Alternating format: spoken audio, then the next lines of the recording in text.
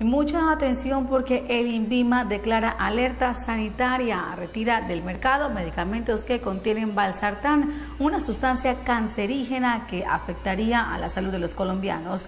Jason Kimbar de nuestro canal aliado de noticias RPTV nos entrega detalles de la información.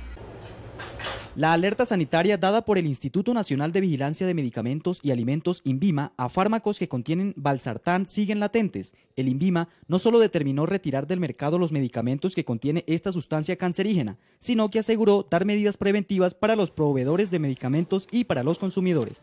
Tenemos 13 registros sanitarios con materia prima eh, implicada por una sustancia no autorizada y tenemos 19 registros sanitarios que cumplen con todas las especificaciones porque la materia prima cumple y no tiene ninguna eh, sustancia prohibida.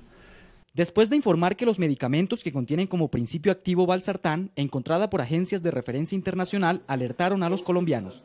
Si usted encuentra que el laboratorio fabricó el medicamento que usted está tomando y ese laboratorio está en alerta como que tiene la sustancia prohibida, es que usted vaya a su dispensario, cambie su valsartán y tome un valsartán que no tiene ningún problema.